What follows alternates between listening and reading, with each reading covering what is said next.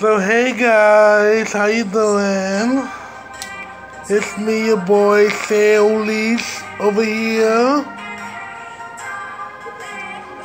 My cousin over here, Chani, braiding my hair. Well, you already said that. Chani, say hi.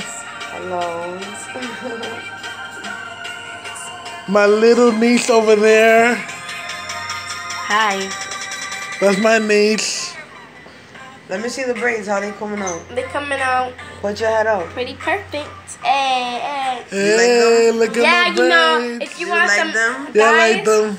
if you want cornrows and your hair is short, I didn't wanna do it's ten dollars. Ten dollars so- for short cornrows. Yeah, Ellie, forgive me before you go off on me. He asked me to put these braids on him, so I try to do it Okay. Anyways, as classy as I if you could. want long cornrow, wait.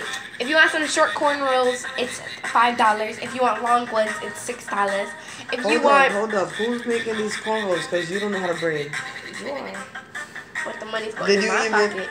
Iron, but the money's going in your pocket? Yes. No, no, no, no, no. Wait. Anyway, you get First of all, you get two percent of the money, okay? First of all, how you selling your product on Sally's site?